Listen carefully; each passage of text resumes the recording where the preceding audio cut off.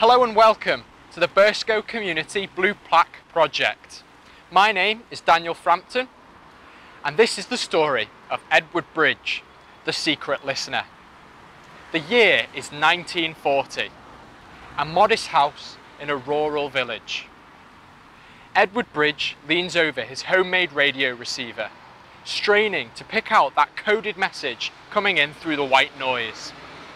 A pencil gripped in his fingers and a pipe clenched in his teeth. The following morning, a black car pulls up outside his house and a man walks smartly up to the front door. He's from the War Office. He's come to collect the coded messages that Edward has recorded and he's going to pass them onto the now famous Bletchley Park. Burscough is described by some as the jewel in the crown of West Lancashire. Ainscough's flour mill, the glistening canal and the wharf all make up much of the area's industrial and manufacturing landscape. The area also proved crucial to the Allied war effort in World War II. The airfield, the local railway links, and they were crucial to the community's wartime contributions. But for Edward Bridge, all of this was now out of reach. Now housebound and confined to his bed, he took to building radio receivers and enjoyed listening to shipping reports from the Liverpool docks. But one day, Bridge received something that he thought was suspicious, a coded message that he reported to the local police, which was soon collected and he was recruited into the RSS, the Radio Security Services, a team of amateur radio enthusiasts whose job it was to listen to radio communications and intercept anything that they seemed suspect.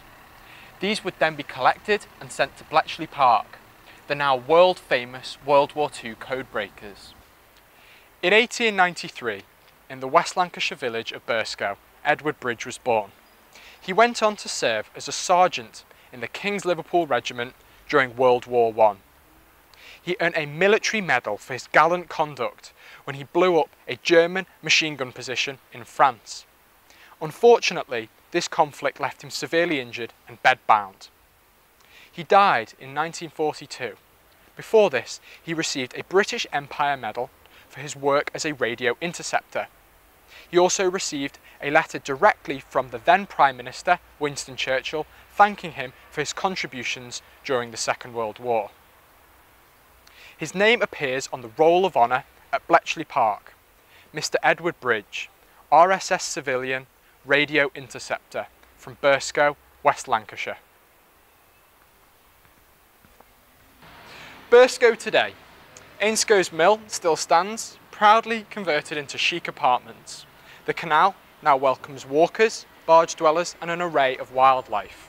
The once industrial wharf has been converted into artisan markets, boutique shops and restaurants. Bridge would still recognise Burscough, both in the silhouette of its iconic architecture and in the community spirit. And in return, he's now honoured with a plaque for his services during World War I and World War II, and for the very freedom that we enjoy today.